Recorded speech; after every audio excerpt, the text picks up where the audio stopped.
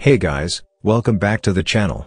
And today in this video, I'm gonna show how to enable new group files feature in start menu in Windows 11, build 23545. If you're new to the channel, please make sure to subscribe. And now let's begin. Now download the ViVeTool from the link given in the description.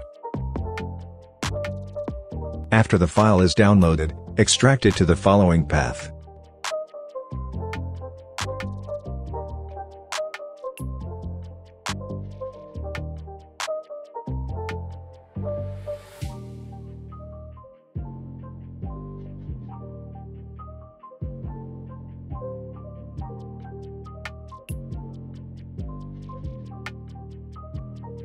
After extracting the file, run command prompt as administrator, and execute the following command.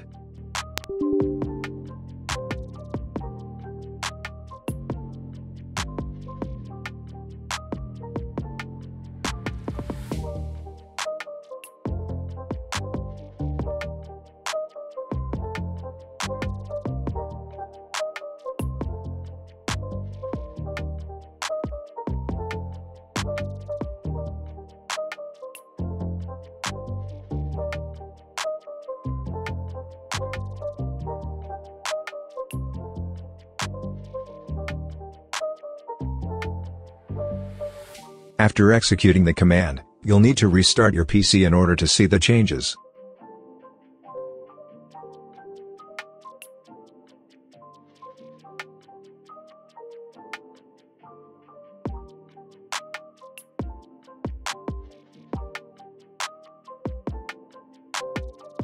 And now after restarting, you'll have the new group files feature in the start menu. You'll notice this feature, if you have installed any apps recently. So that was it. Hope it was useful. Consider like for the video, subscribe to the channel and if you have any questions, just comment down below. Thanks for watching and have a great day ahead.